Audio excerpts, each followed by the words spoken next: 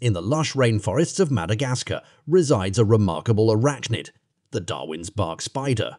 Nature's weaver extraordinaire, this spider spins a web of awe and fascination. Imagine silk threads spanning up to 25 meters, a feat unmatched in the spider world. But it's not just about length. The silk is tougher than steel, a testament to the marvels of evolution, named after the visionary Charles Darwin. This spider showcases the incredible adaptability of life. Its intricate web suspended over rivers and streams captures prey with precision. This ingenious strategy speaks volumes about the interconnectedness of species and the beauty of the natural world. As we delve into the realm of history and nature, the Darwin's bark spider stands as a testament to the wonders awaiting discovery.